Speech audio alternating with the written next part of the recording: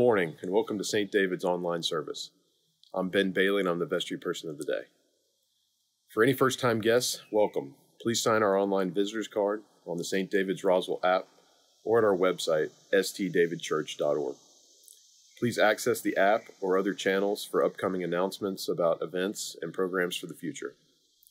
We're ready and excited to welcome everyone back with in-person services at 8, 9, and 10:30 for the summer.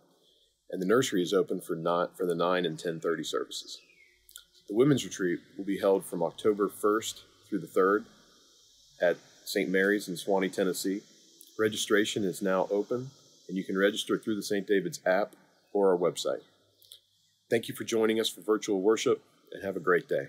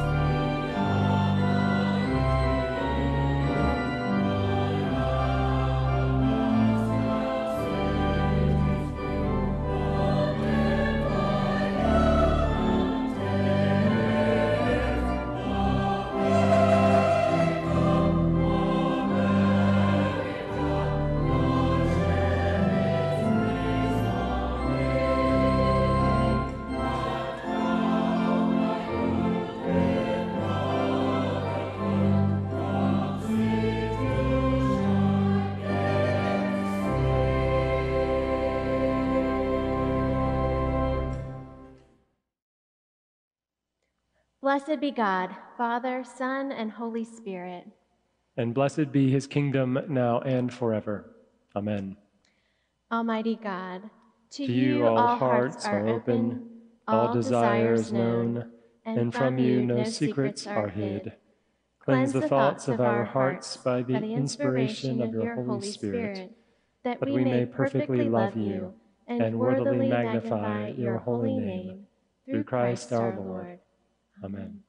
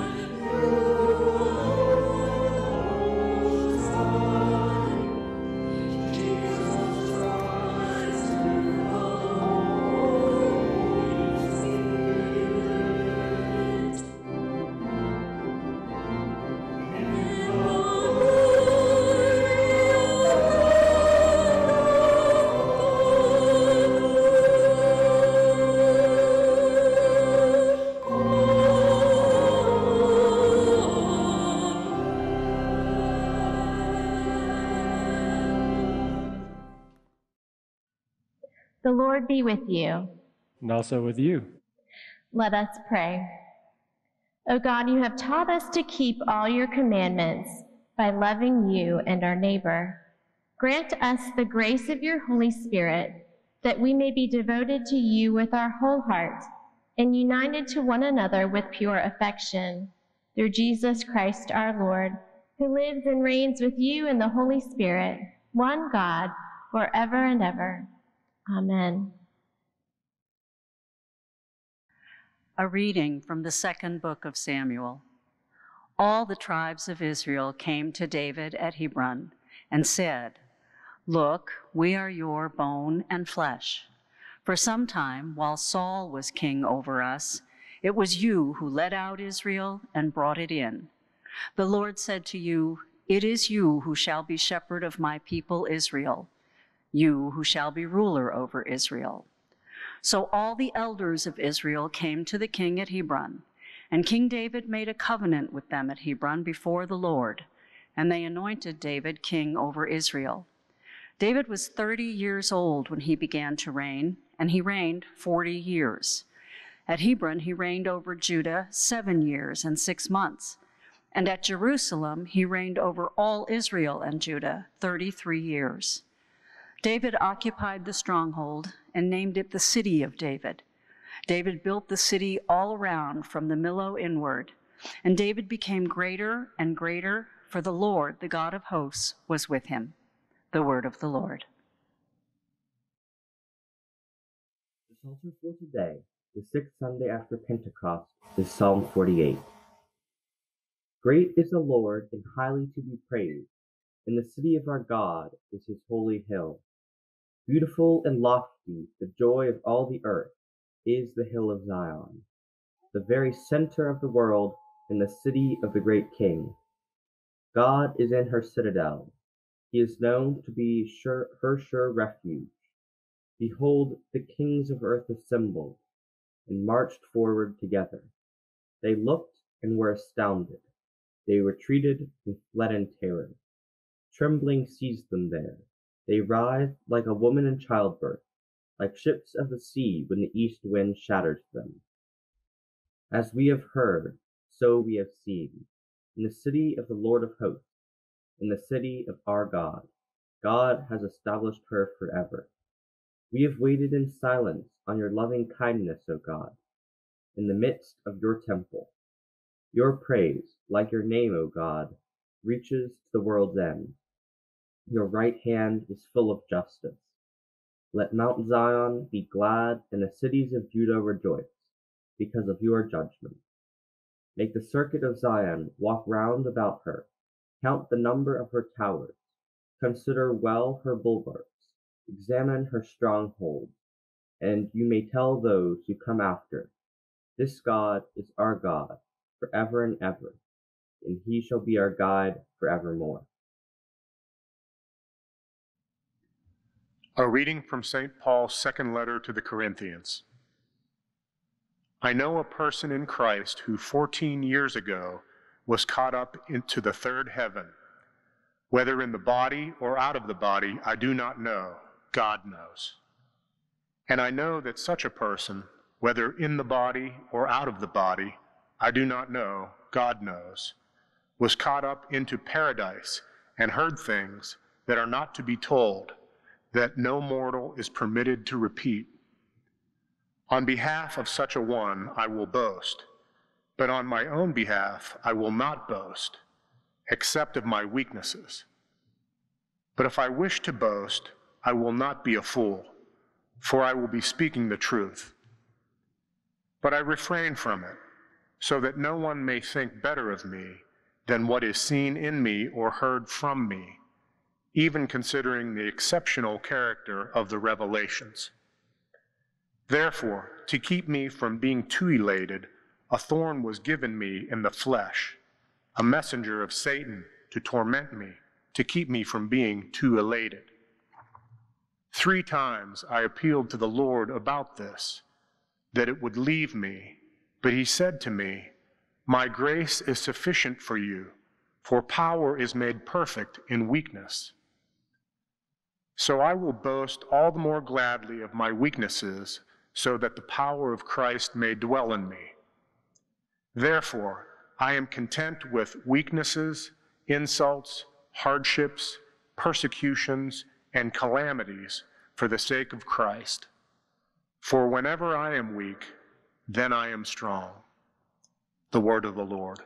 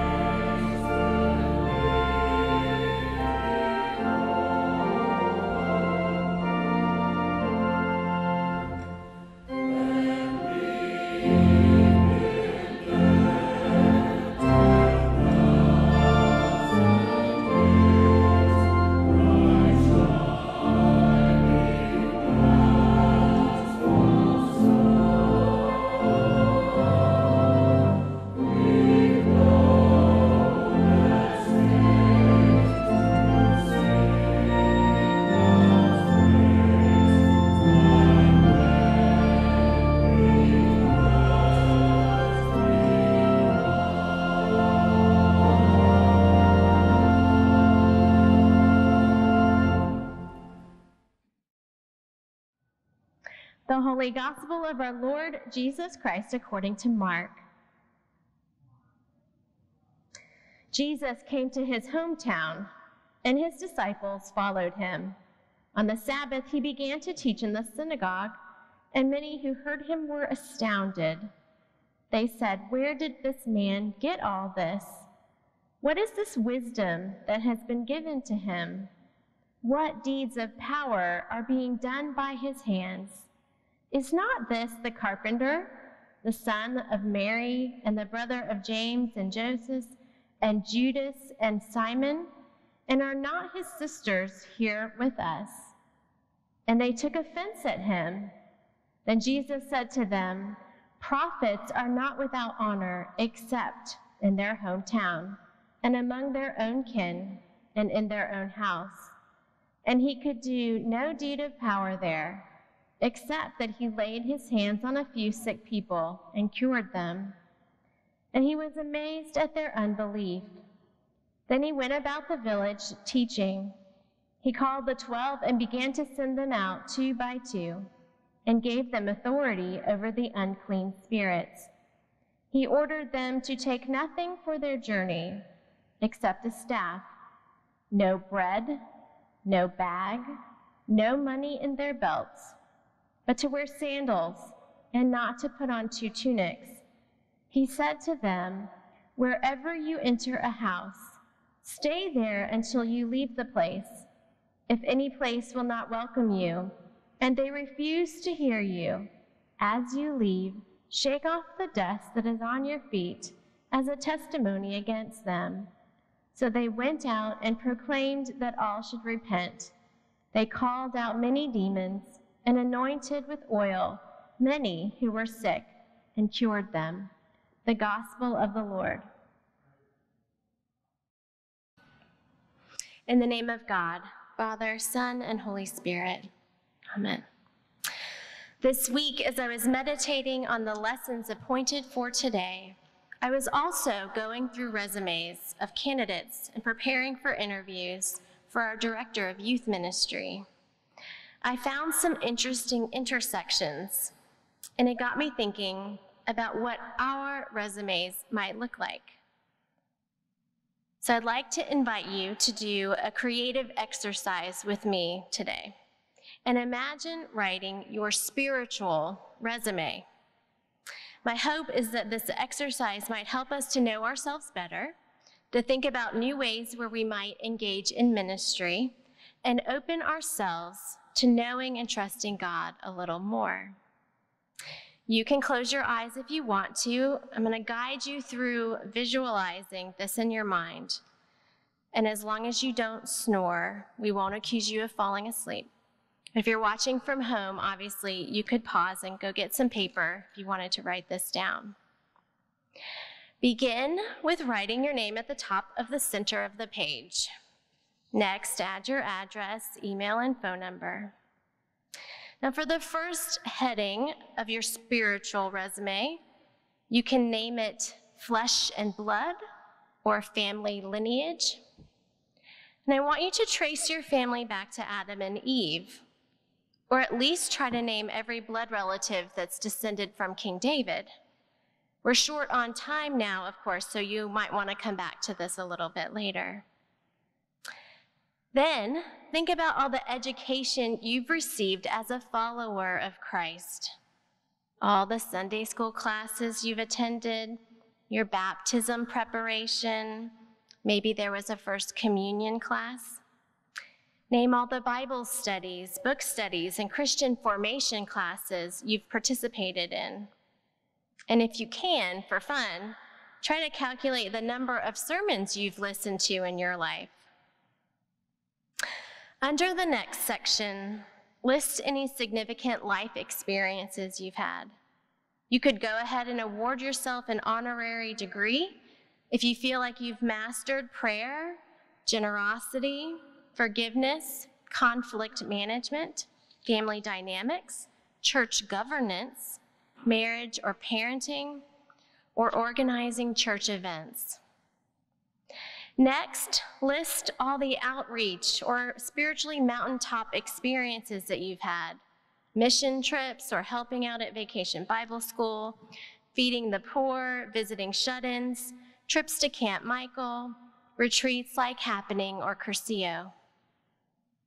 Under the next section, identify all of your special skills and talents that benefit the church and the world. Maybe leading, teaching, organizing, scheduling, fundraising, serving, singing, playing a musical instrument. And finally, name a few significant people in your life who have had a role in your spiritual development family members, friends, coworkers, and your clergy who could speak to your spiritual maturity. Add them under the heading References. Make sure it all fits on one page, and you're done. How are you? Are you impressed with yourself? Would you hire you? Are there things that are missing? Before we get too proud of ourselves, let's take a little closer look at the things that we might boast about and consider Paul's advice to the church. In fact, let's go ahead and edit this for Paul. In Paul's letter to the church in Corinth, it's obvious Paul is trying not to boast, and he points repeatedly to his weaknesses. So go back to your resume and cross off anything that you've done for God that you felt strong or confident doing because you received adequate training and preparation for. Next, delete everything listed under special skills and talents. Those don't really matter to Paul either. Instead, add a section called hardships and list every experience you've had in life with grief or pain or suffering, and all the times you were ridiculed, persecuted, or taken advantage of because of your faith. Now, add all the times you stepped out of your comfort zone and did something that you felt foolish even considering. List any experiences you knew you didn't have the knowledge, strength, wisdom, or skill to do on your own. Those times you were completely dependent on God to get you through. Move those to the top of your resume and put them in bold.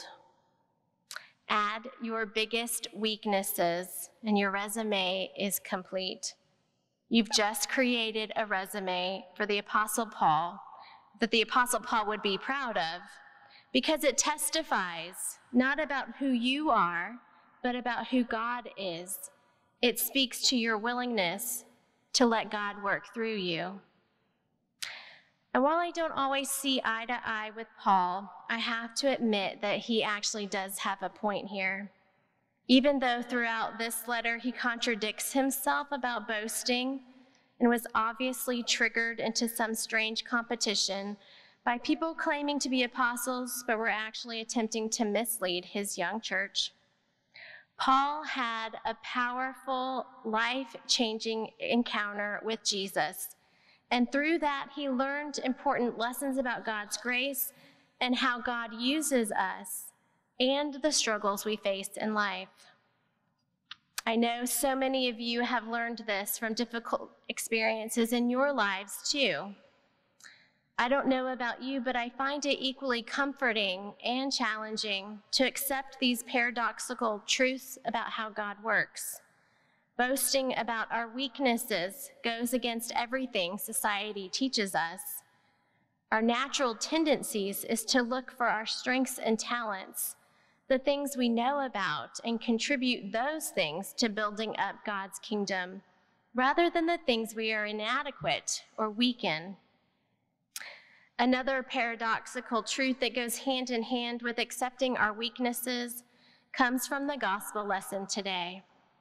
Mark tells us that Jesus sends out his disciples with power and authority, but tells them to take nothing on their journey no bread, no money, no change of clothes. He wants them to be dependent on the people who they go to share the good news with, which is also contrary to how most churches think of doing missionary or charity work.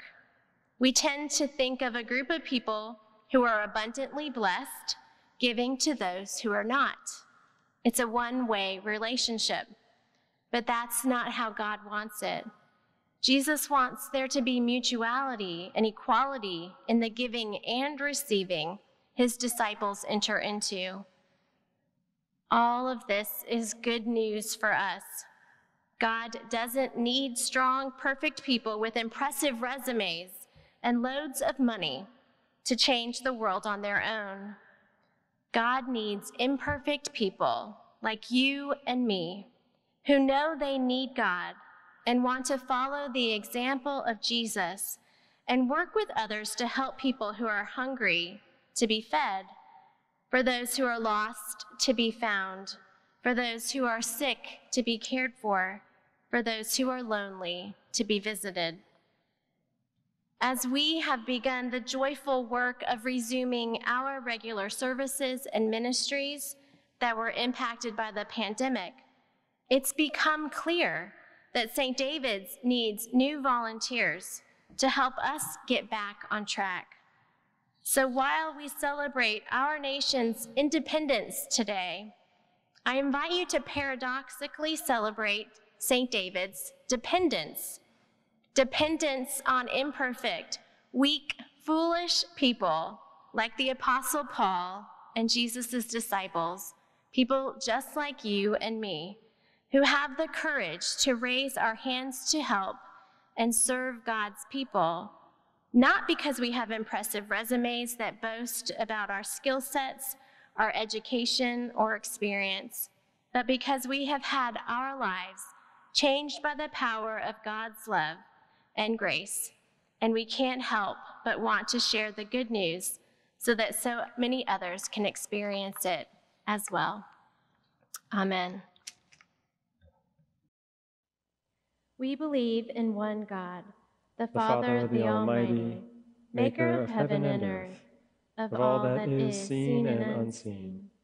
We believe in one Lord Jesus Christ, the only Son of God eternally begotten of the Father, God from God, light from light, true God from true God, begotten, not made, of one being with the Father. Through him all things were made. For us and for our salvation, he came down from heaven. By the power of the Holy Spirit, he became incarnate from the Virgin Mary and was made man. For our sake he was crucified under Pontius Pilate. He suffered death and was buried. On the third day he rose again, in accordance with the Scriptures. He ascended into heaven and is seated at the right hand of the Father. He will come again in glory to judge the living and the dead, and his kingdom will have no end. We believe in the Holy Spirit, the Lord, the giver of life who proceeds from the Father and the Son. With the Father and the Son he is worshipped and glorified. He has spoken through the prophets. We believe in one holy Catholic and Apostolic Church. We acknowledge one baptism for the forgiveness of sins. We look for the resurrection of the dead and the life of the world to come. Amen.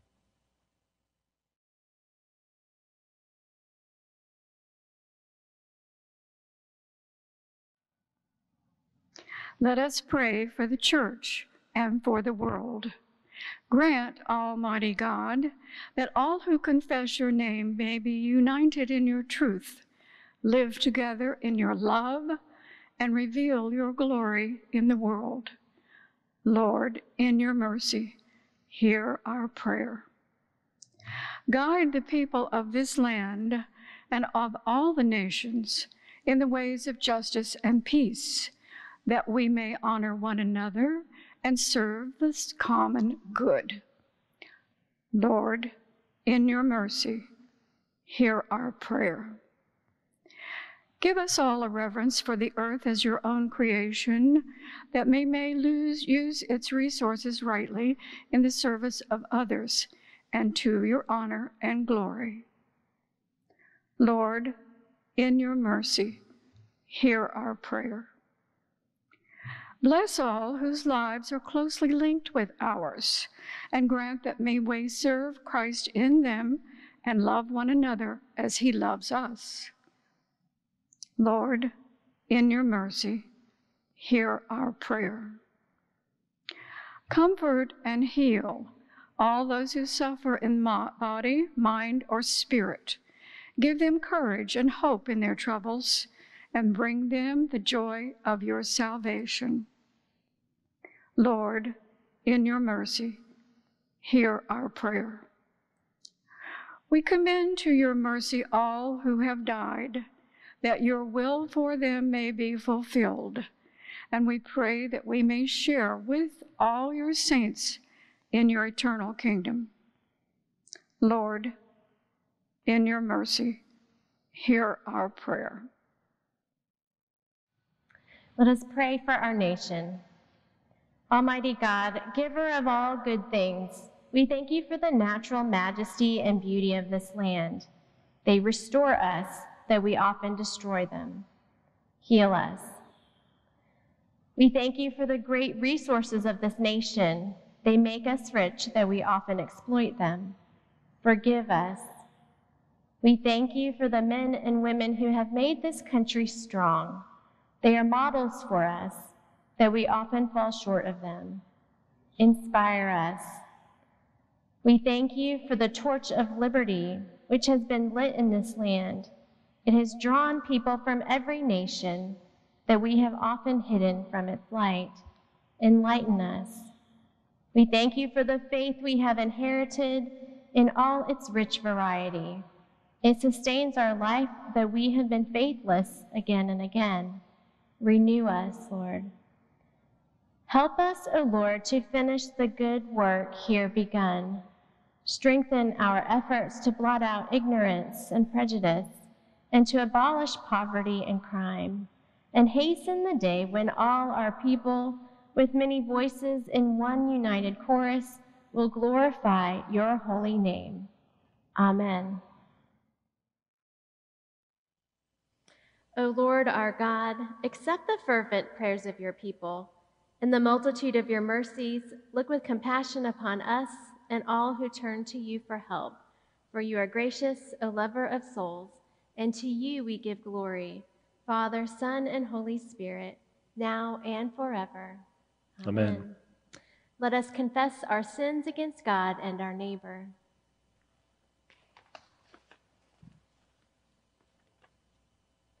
Most merciful God, we, we confess that we have sinned against you in thought, word, and deed, by what we have done, and by what we have left undone. We have not loved you with our whole heart. We have not loved our neighbors as ourselves. We are truly sorry, and we humbly repent. For the sake of your Son, Jesus Christ, have mercy on us and forgive us that we may delight in your will and walk in your ways, to the glory of your name. Amen. Almighty God, have mercy on you, forgive you all your sins through our Lord Jesus Christ, strengthen you in all goodness, and by the power of the Holy Spirit, keep you in eternal life. Amen. The peace of the Lord be always with you. And also with you.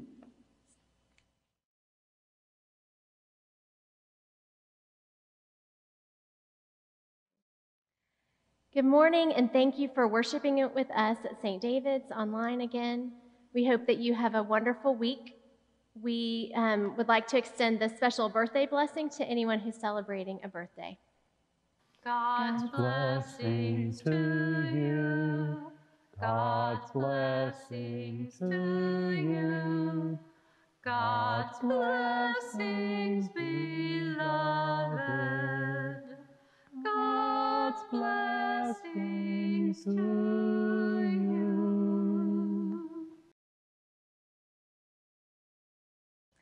Walk in love as Christ loved us and gave himself for us, an offering and a sacrifice to God.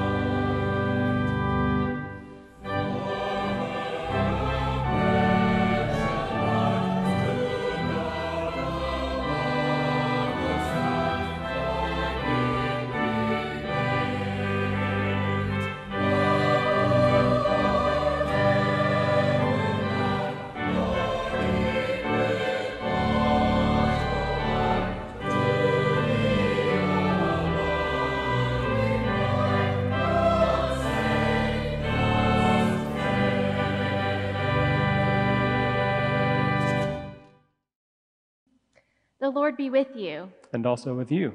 Lift up your hearts. We lift them to the Lord. Let us give thanks to the Lord our God. It is right to give him thanks and praise. It is right and a good and joyful thing, always and everywhere, to give thanks to you, Father Almighty, creator of heaven and earth. For you are the source of light and life. You made us in your image and called us to new life in Jesus Christ our Lord.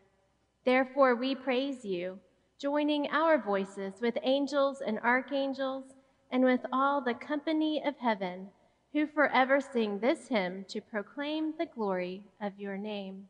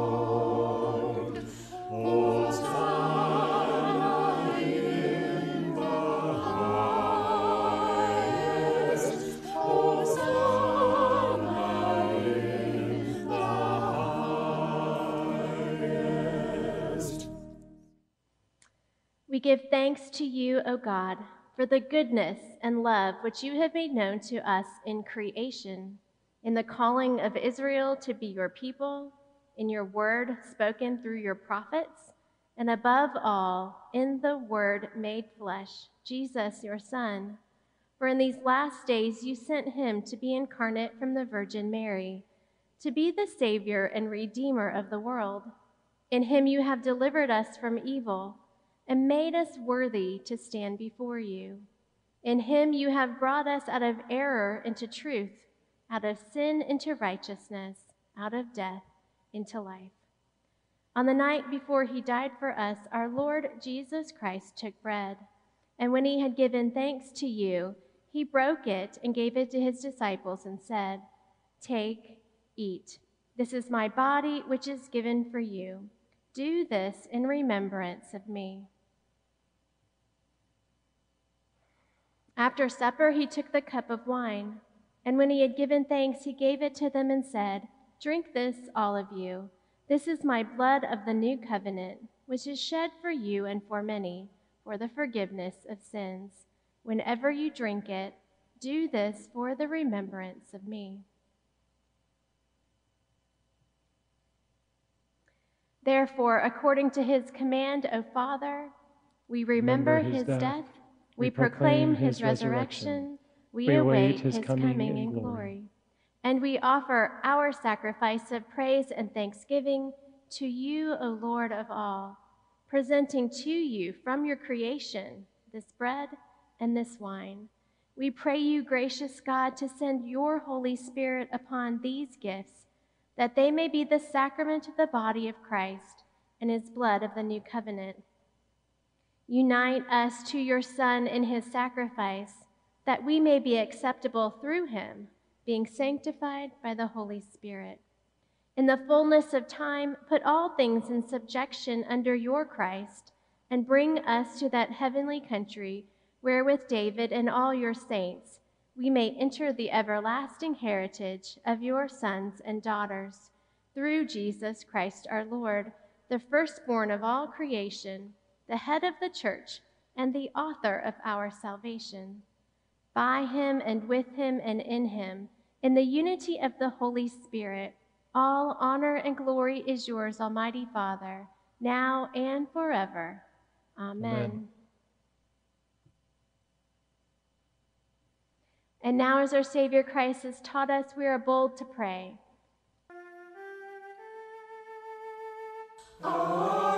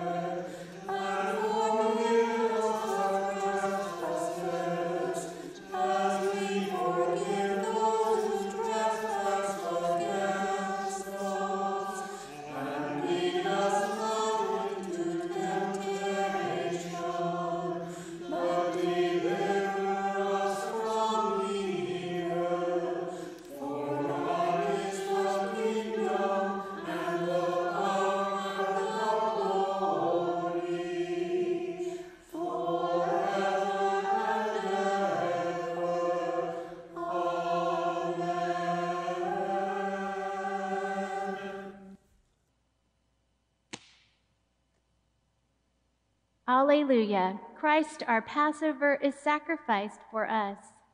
Therefore, let us keep the feast. Alleluia.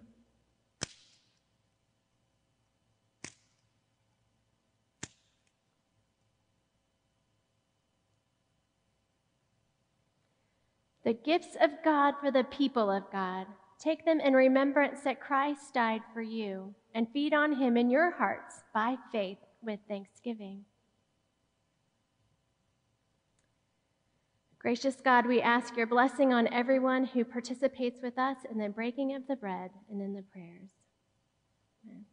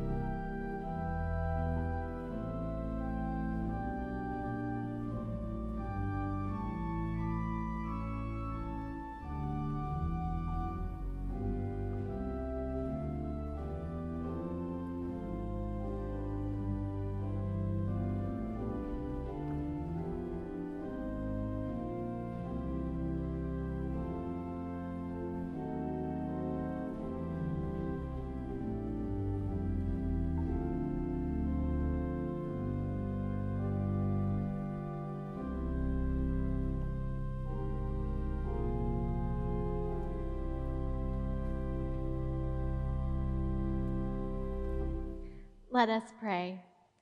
Eternal God, Heavenly, Heavenly Father, Father, you, have graciously accepted us as living members of your Son, our Savior, Jesus Christ. And you have fed us with spiritual food in the sacrament of his body and blood. Send us now into the world in peace, and grant us strength and courage to love and serve you with gladness and singleness of heart, through Christ our Lord. Amen. Amen. The blessing of God Almighty, Father, Son, and Holy Spirit be upon you now and remain with you always. Amen.